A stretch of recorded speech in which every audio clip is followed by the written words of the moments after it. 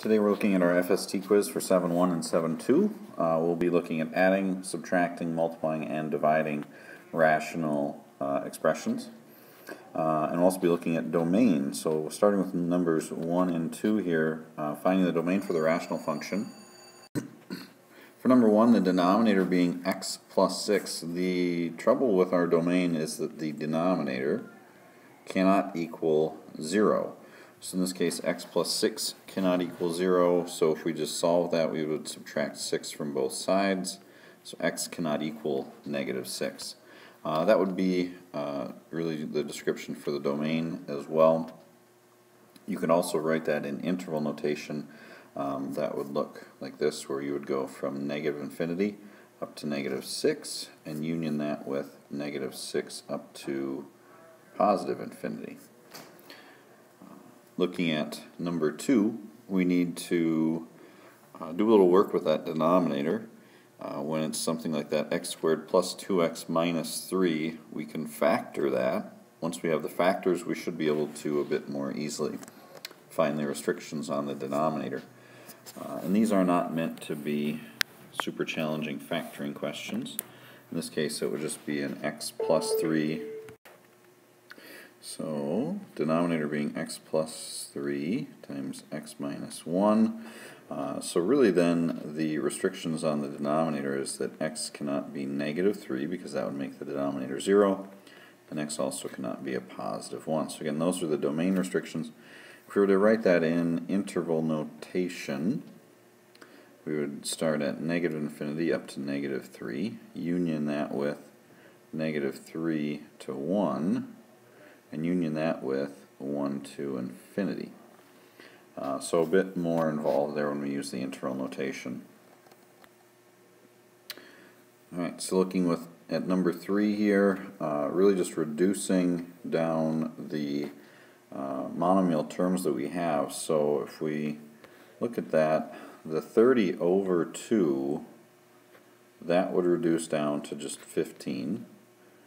That would end up on the top of our fraction. Notice the m's we have uh, 5 and a 9. Well, 9 is more than 5, so the m's will end up in the denominator and to a fourth degree because 9 is 4 more than 5. And if you notice the p's, 2 and then just a 1 there really, so the p's end up on top and just a single p to the first power there. So 15p over m to the fourth uh, would be what we're looking at there.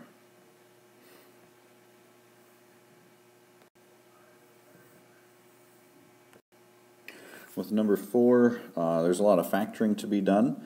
Um, and then we will cancel out some common factors and try to express that in lowest terms. So looking at that, the k squared plus 9k plus 14 we would um, factor that as k plus 7 times k plus 2 and the k squared plus 11k plus 28 would be a k plus 7 and k plus 4 already notice we got some k plus 7s there that will cancel out. The k squared plus 4k we can take k out of that get k times k plus 4 and the k squared plus 10k plus 16 would be a k plus 8, k plus 2. Now, like I said, we can cancel out the k plus 7s, cancel out the k plus 4s, also cancel out the k plus 2s. So we would be left with just the k over k plus 8. With number 5, notice that is dividing, so we will um, we'll still start by factoring. We can factor that 3p minus 3. We take the 3 out, we get 3 and then p minus 1.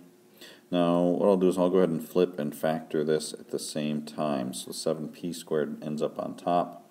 The 5p minus 5 ends up on the bottom, and then we get p minus 1 once we take the 5 out. Uh, so notice again there the p minus 1s will cancel. We've got a p and a p squared, so that p will cancel out one of those two p's. Um, the 3, 7, and 5 don't uh, reduce at all, so we end up with 21p over 5 is the result.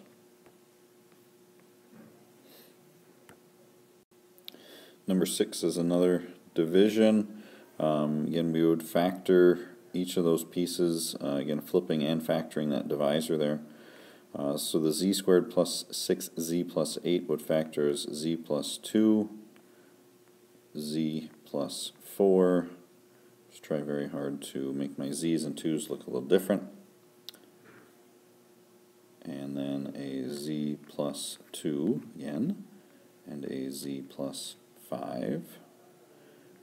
So again, flipping and factoring that, the z squared plus 4z will end up on the bottom so that we can take a z out of that. And then we end up with z plus 4. z squared plus 8z plus 15 is a z plus 5 and a z plus 3.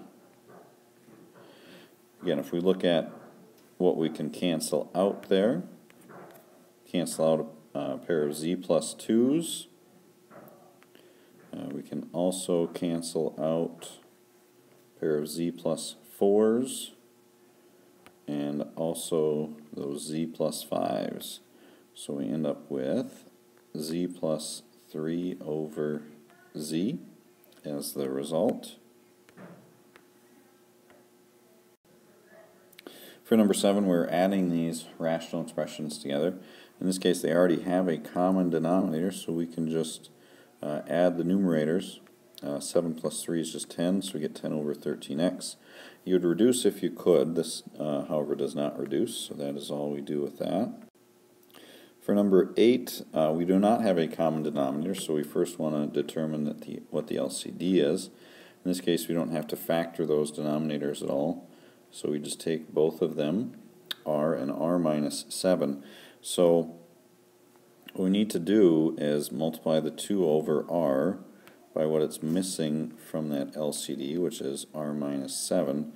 We do the same thing to the top and bottom so that we're not changing the value of that expression. And then the 3 over r minus 7 needs to be multiplied by r over r, again what it is missing from that common factor. In this case, um, we multiply the 2 by the r minus 7, we get 2r minus 14. And that goes over the LCD r times r minus 7. And then just the 3r over here, and then again the LCD r times r minus 7. Uh, we can then add the numerators together, so we get 5r minus 14 over the LCD r times r minus 7. Now you do want to make sure that you factor that numerator if possible. However, this 5r minus 14 does not factor.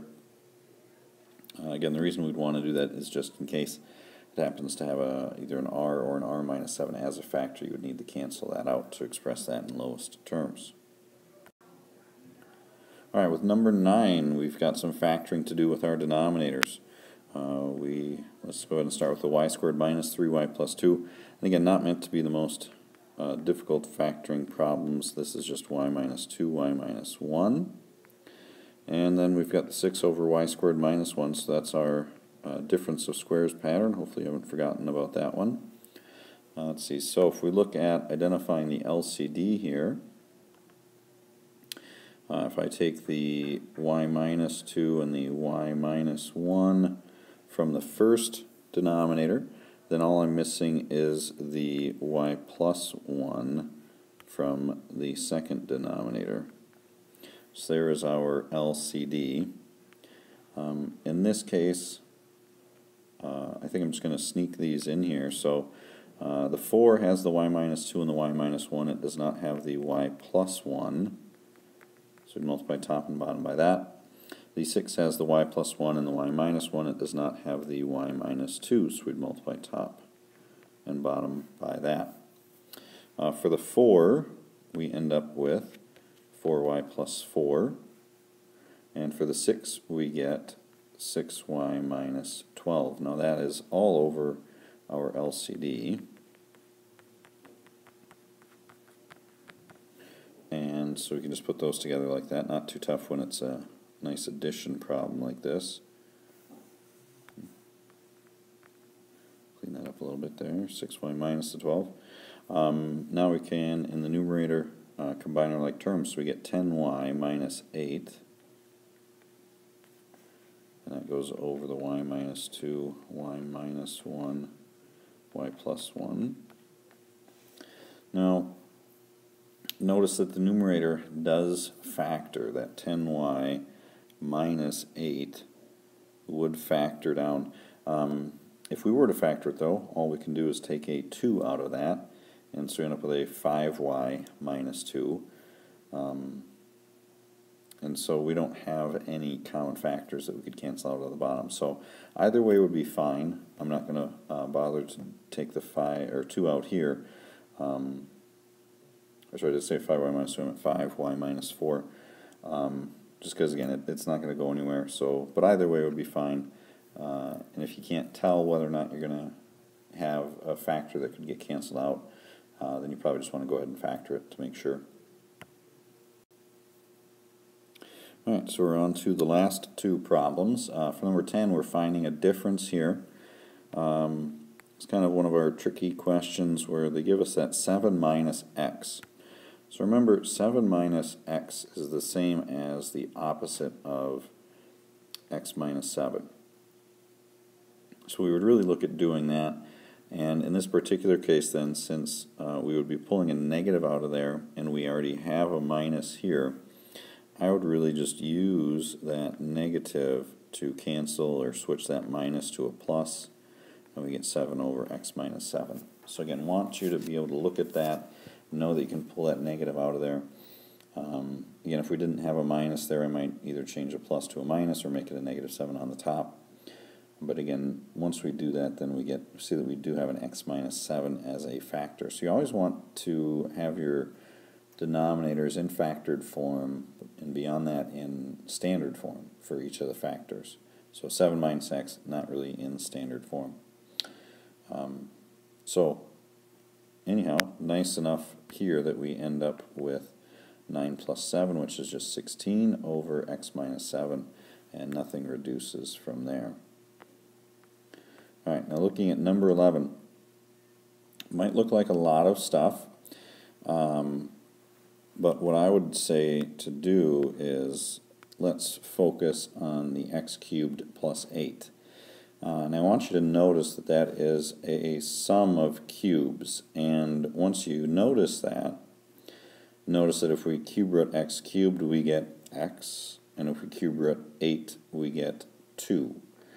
So really the binomial part of this factored pattern is right here it's the x plus 2. I also want you to notice that if we look at what the trinomial part would be when factoring this sum of cubes, we would square the x and get x squared.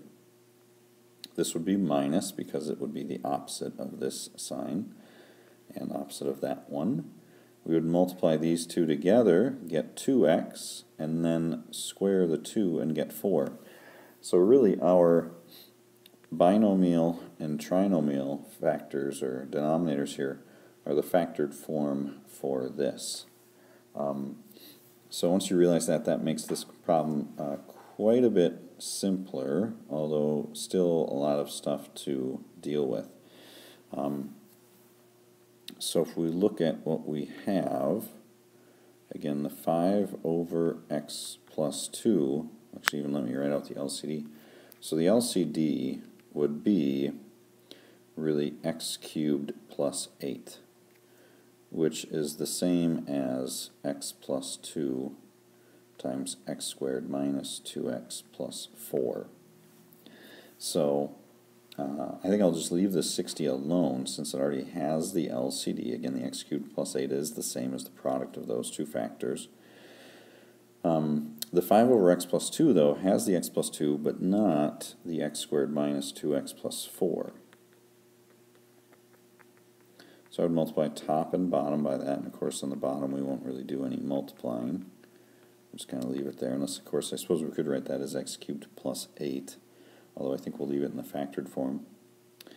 Uh, and then we have the plus 2, and again that already has the denominator x squared minus 2x plus 4.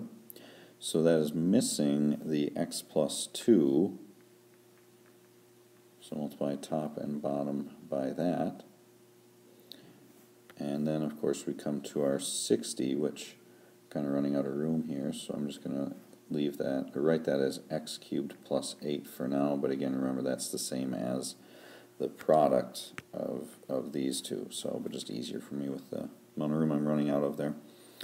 Um, Alright, so in our numerator, uh, for the 5, we would distribute that across. We'd have 5x squared minus 10x plus 20. Again, making sure that we distribute that all the way across. We would add that to the 2 times x plus 2, so 2x plus 4. And that would also get added to the 60. And now I can just write that all as over the single uh, LCD x plus 2 and then x squared minus 2x plus 4. Um, in the numerator there we would need to combine like terms. We only have the 5x squared. We have a minus 10x and a plus 2x, so that would be a minus 8x. Uh, see, plus 20, plus 4, and plus 60. Ooh, I thought that seemed wrong. Uh, for some reason I wrote a plus 60 there when it was a minus. So let me fix that here. So it'd really be minus 60.